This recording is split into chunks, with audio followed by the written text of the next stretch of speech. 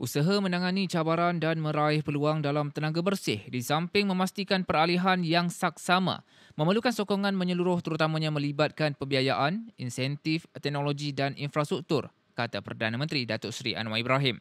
Beliau berkata Malaysia juga percaya peralihan tenaga seharusnya saksama, inklusif dan adil dengan tindakan ke arah kemajuan merangkumi model kolaborasi dan kerjasama yang progresif.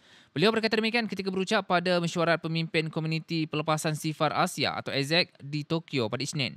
Beliau berkata Malaysia dengan sendiri akan terus mengutamakan penyelesaian praktikal yang memacu kemajuan, mengimbangi cita-cita berkaitan iklim, kelestarian dan pertumbuhan ekonomi.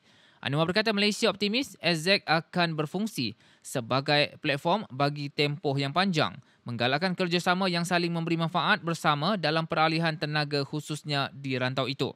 AZEC ialah platform kerjasama yang bertujuan memajukan usaha keneutralan karbon dan peralihan tenaga untuk mencapai sasaran pelepasan sifar.